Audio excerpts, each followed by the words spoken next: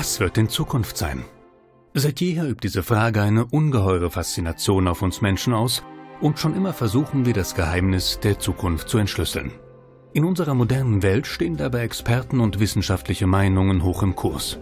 Denn Wissenschaftler beschäftigen sich meist weder nebulös noch besonders emotional, sondern eher pragmatisch mit der Zukunft, auf Grundlage von Daten.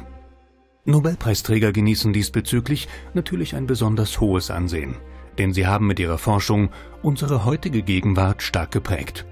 Sie sind die Genies unserer Zeit. Und wo hat man öfter die Möglichkeit zu hören, was sie über die Zukunft denken als in Lindau? Beginnen wir gleich mit einem häufig besprochenen Thema. Bevölkerungswachstum. Auch Nobelpreisträger sorgen sich um die Zukunft der Menschheit.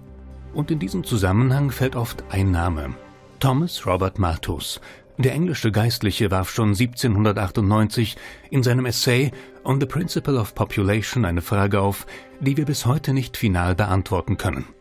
Wann wird es zu viele Menschen für zu wenig Nahrungsmittel geben? Er prognostizierte Katastrophen, die es bis heute in dem Ausmaß glücklicherweise nicht gegeben hat, doch die Befürchtungen bleiben. Sie haben selbst gesehen, dass alle, die vor uns da waren, meine erste Folie, mit dem Aussterben endeten. Die Neandertaler vor nur 35.000 Jahren. Warum also nicht wir? Warum nicht wir? Tja, das ist eine gute Frage. Aber Sie müssen bedenken, dass das Aussterben von 10 Milliarden Individuen nicht dasselbe ist wie das Aussterben von 10.000 in Zentralafrika. 10 Milliarden über die ganze Welt verteilt. Das heißt, dass bevor wir aussterben, die undenkbarsten apokalyptischen Ereignisse stattfinden können. Feuer, Epidemien und was nicht alles. Wenn wir den Dingen ihren Lauf lassen, wird es nicht genug zu essen für alle geben. Kein Klima, das uns erhält. Daher sind wir dem Untergang geweiht, wenn wir nichts dagegen tun. Malthus sah vor rund 200 Jahren kaum einen Ausweg, forderte Bildungsoffensiven und Enthaltsamkeit zur Begrenzung des Bevölkerungswachstums. Enthaltsamkeit erscheint heute vielleicht nicht mehr zeitgemäß.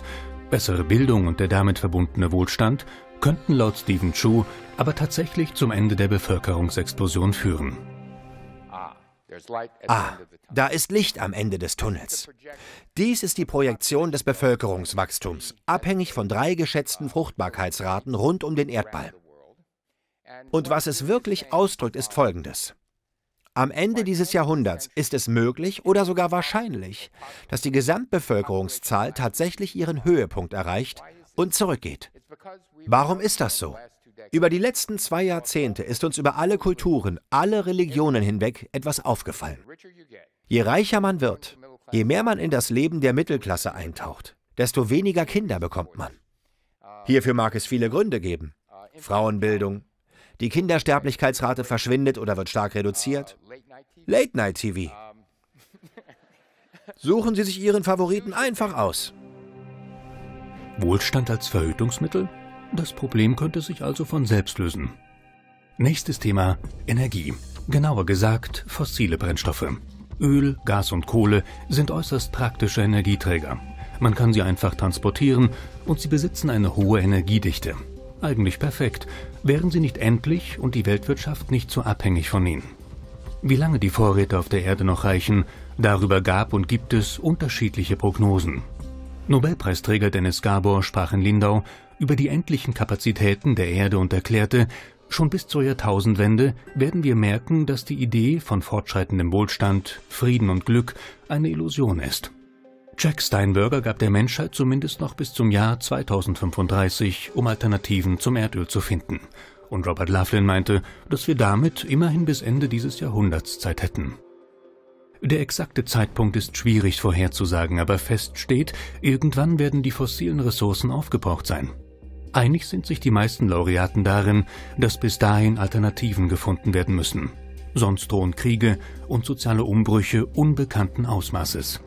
Auch bei Nobelpreisträgern kann angesichts solcher Aussichten schon mal der Galgenhumor durchblitzen.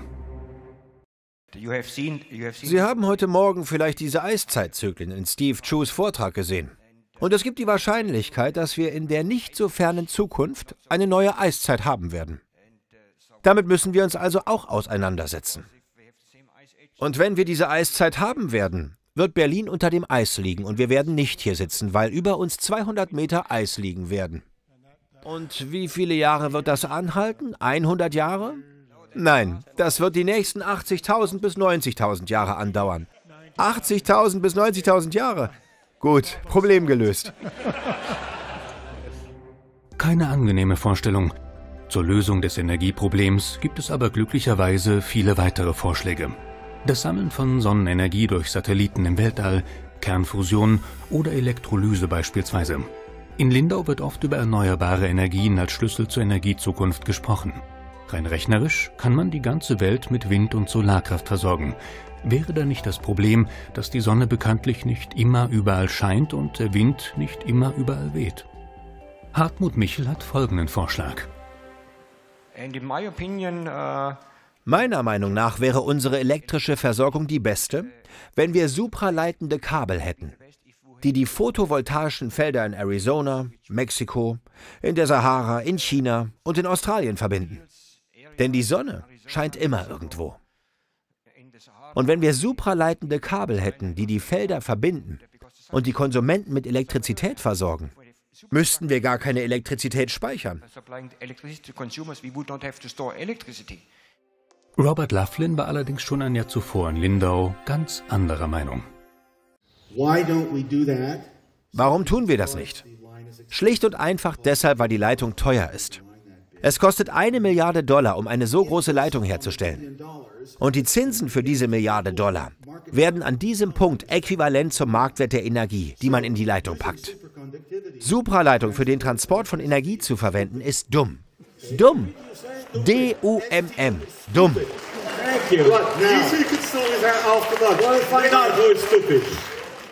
Es wird sich zeigen, wer recht behält. Mit der Verbrennung fossiler Brennstoffe ergibt sich allerdings ein weiteres Problem. Das dabei entstehende Kohlendioxid. Es gelangt in die Atmosphäre und trägt zum Klimawandel bei, also dem von Menschen mit verursachten globalen Temperaturanstieg. Ein Thema, das in Lindau immer wieder zur Sprache kommt. Viele Nobelpreisträger unterstreichen, wie ernst das Problem ist und fordern entschlossene Maßnahmen zur Bekämpfung des Klimawandels. Ich denke, dass wir Klimamodelle nicht wirklich verstehen. Wir werden dazu in den kommenden Jahren und Jahrzehnten in der Lage sein. Ich bevorzuge einen sehr epidemiologischen Blickwinkel auf den Klimawandel. Ähnlich dem Blickwinkel, den wir einnahmen, als es den Verdacht gab, dass Krebs durch Rauchen ausgelöst wird. Also nicht alle Krebsarten. Aber wenn man rauchte, war die Wahrscheinlichkeit für Krebs höher. Und nach 10 oder 20 Jahren wurde es sehr deutlich, dass Rauchen die Wahrscheinlichkeit an Krebs zu erkranken erhöhte, obwohl wir keinen biomolekularen Einblick erhalten konnten, wie dies geschieht. Wir mögen aufgrund von Modellen des Klimawandels keinen detaillierten Einblick haben, was passiert. Aber wir wissen, dass etwas passiert, wenn es in Zusammenhang mit der steigenden Temperatur steht. Andere streiten die Existenz des Phänomens ab, wie beispielsweise Aiva Gaiva. In seinem Vortrag von 2012 spricht er dem durchschnittlichen Temperaturanstieg von 0,8 Grad innerhalb der letzten 150 Jahre jede Bedeutung als Beleg für einen Klimawandel ab. Was bedeutet diese Kurve also? Meiner Meinung nach wahrscheinlich nichts. Warum ist es wichtig, wenn die Durchschnittstemperatur um 0,8 Grad steigt? Sofern man sie überhaupt messen kann. Von 1880 bis 2013 hat die Temperatur von 288 Grad Kelvin auf 288,8 Grad Kelvin, also um 0,3 Prozent zugenommen. Das ist sehr wenig. Wenn das stimmt, ist die Temperatur meiner Ansicht nach erstaunlich stabil geblieben. Zukunftsprognosen sind manchmal spekulativ, oft unbequem und auf jeden Fall kontrovers. Welcher Nobelpreisträger letztlich mit seiner Ansicht richtig liegt? Die Zukunft wird es zeigen. Leidenschaft, Ausdauer und Ideenreichtum können aus den heutigen Problemen aber zukünftige Möglichkeiten machen. Möglichkeiten für großartige Wissenschaft. Und für diese Aufgaben sind nicht nur Nobelpreisträger verantwortlich, wie die Laureaten gern am Ende ihrer Vorträge betonen, sondern in erster Linie die Nachwuchswissenschaftler von heute. Uh, Jetzt liegt es an uns und vor allem an Ihnen, sie auch wirklich umzusetzen. Ich danke Ihnen vielmals.